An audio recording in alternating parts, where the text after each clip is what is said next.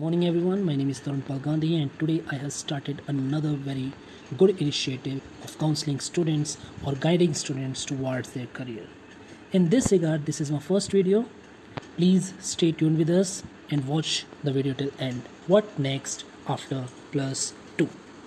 The thought of a student. Which course should be selected after 12th? You are now studying in 12th standard. Final exams of the 12th standard will be over soon you concentrate on your study during the examination period and do not diverse your mind in thinking about your career after 12th. But once you are qualified in the 12th examination, now it is the time to think over the career options and courses after 12th. And many more related questions that are puzzling in your mind about what should you choose after 12th. This thought is clear, but answer to this thought is not clear at all because we have never ever evaluated ourselves. But when it comes to choosing a career, you will have to evaluate yourself first. You will have to identify your skills, you will have to identify your strengths and your weaknesses.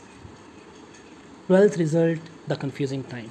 This is one of the most confusing time in the student's life. First, you should counsel yourself. Suppose that you have chosen PCM group or PCB group or commerce or arts in 12th standard it means you have chosen your area of interest. Do not surprise or tense. You have done your best. But yes, of course, if you wish to change your field for higher studies, you can go through many options according to your choice or your interest. We will discuss those options in details today in this particular presentation. The first step before choosing is to counsel yourself. In the process of counseling yourself, you will have to identify your strengths and your weaknesses first. We will take up a separate chapter for this later on. There are some very important considerations we should consider before choosing a career for oneself. You should consider the following points before making any decisions about your career. The first point know your work style. Second, identify your skills. Third, determine your goals. 4. Understand your values. 5. Do the match. 6. Remember that the things can change. 7. Talk to the people who work in the same field. 8. Use your resources. 9. Be flexible. We will discuss all these points in detail in our next few slides. Now, the first consideration is know your work style. Your work style and your area of strength influences your ability to thrive in certain careers. There are basically two types of work styles. First, responsive, and the second one is assertive. These can further be divided into less responsive and more responsive, and less assertive and more assertive. As you can see in this figure, those who are less assertive and less responsive are the analytical ones. Likewise, more responsive and more assertive people are expressive ones. So, work style directly belongs to the personality of a person. We will be having a separate presentation on this, but for now, you should know about your work style is a very important driver in choosing your career wisely. Identify your skill. Every career requires a different skill set. Sales manager needs great leadership skills and the teacher needs to be able to communicate effectively with both students and parents. Take some time to figure out what you are good at. List every talent and skill you have, you know, even if it doesn't seem to be marketable. Knowing every skill that you have, even ones that don't seem particularly marketable, can help you find a career that you will enjoy and be good at. Like it will help you decide your future. For example, being good at video games might not seem like a marketable skill, but dig a little deeper what exactly are you good at when it comes to video games? Creative problem solving or decision making? These are important skills that can apply to a number of different careers.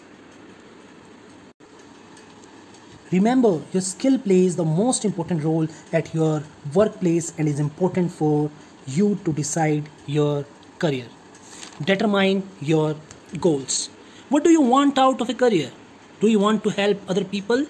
Do you want to travel? How much money do you want to make? If you are pursuing a career that doesn't align with your long term goals, it is unlikely that you will ever feel truly satisfied with it. Of course, goals change over time and things that were once extremely important becomes less so. It is still good to have an idea of what you want so that you have something to work toward. If your goal is to earn money or if your goal is to be an entrepreneur or your goal is to become a doctor and opening your own clinic, this goal setting process shows your personality traits. Now you will ask me how. Suppose if you want to be an officer and set a goal accordingly, it shows that your personality is of leader or is very dominating. And if you will become a clerk, then you cannot survive in that environment because it is against your personality. You will never be happy at all from your work as you will have to report to the superiors all the time. So setting up goal process is very important. Understand your values. Of all the tips of choosing a career, thinking about what you value in a job is one of the most important. Do you love working independently or do you need social interaction throughout the day to feel fulfilled? Is it important for you to spend time with your family and be home at a certain hour every day?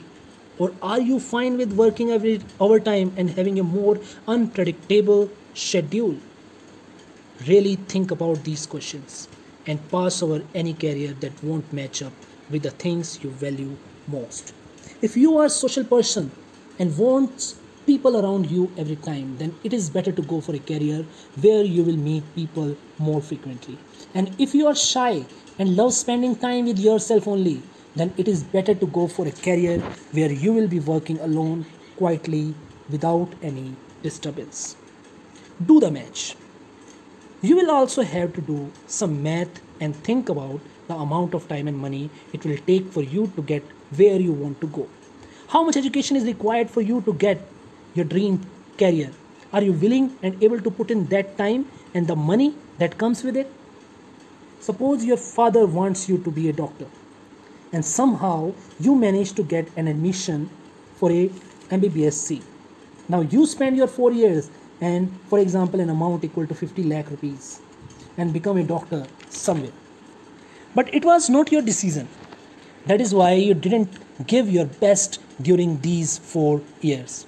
You do not have the skill to operate a critical patient.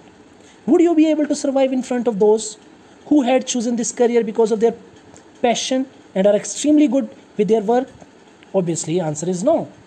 So the matching of your skills, your values with your goals is very important. Remember that things can change. There are a million of best careers list out there that will say you should strive for a certain career because you are guaranteed to make a certain amount of money with it.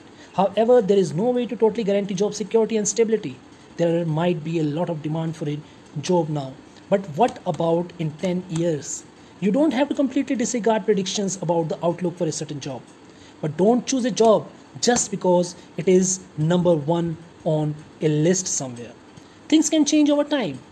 And the job that was once number one might end up not even making the list a few years from now. For example, in 1970s or 1980s, information technology and use of computers were just a fantasy and was not at all a profession. But now this is the most valued and most desired profession of today. Things can change over time. If you have the ability to see future, you can do wonders in your career. Talk to people who work in the same field. Talking with someone who is already working in the field you are considering can be extremely helpful. If you can meet with multiple people, that's even better. A 15 minutes interview can tell you a lot about a specific career. Ask questions about the pros and cons of the job, whether or not the person would choose if it, it if they could go back in time, and what kinds of skills they have found to be most beneficial. Job shadowing can be just as, if not more, beneficial. Following someone around for a day is kind of like getting a glimpse into your future you will get a good idea of whether or not you actually want to do the same work that this person is doing, which can help solidify your decision about a future career. If you want to be a doctor, then visit some doctor and have a conversation with them. If they like their career or not, I will suggest you to visit some uh, less famous ones, less skilled ones, and have their interviews. Ask them what they wanted to be actually and what they are now. Then compare. You will get a better idea of choosing that career for you.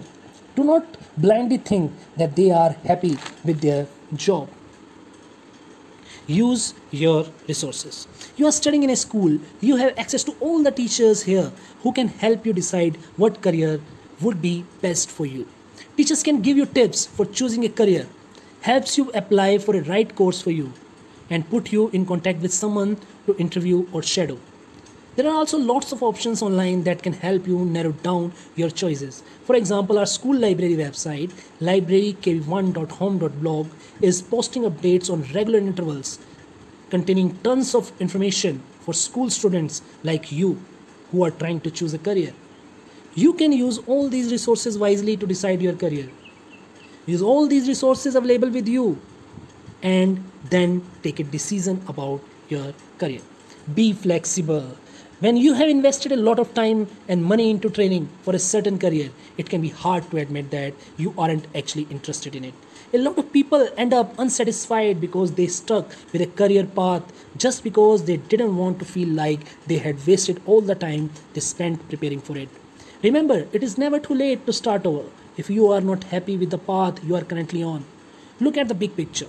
A couple of extra years in school will be worth if they help you get to a career you truly love instead of one that you can only tolerate.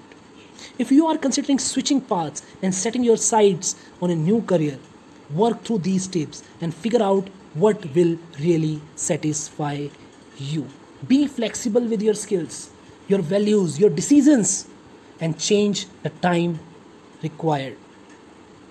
Now it is the time to land your career. Once you have made a decision, you are out of the woods right? Not quite. Now it is time to put these tips for choosing a career into action. But don't panic. There are tons of resources out there to help you. Land your dream career from information on types of resources to tips on filing out an application. Don't hesitate and apply this and make it a reality. This is it for today. Thank you so much for watching and listening. May god bless you all please subscribe to our channel for more more videos like this in future. Thank you so much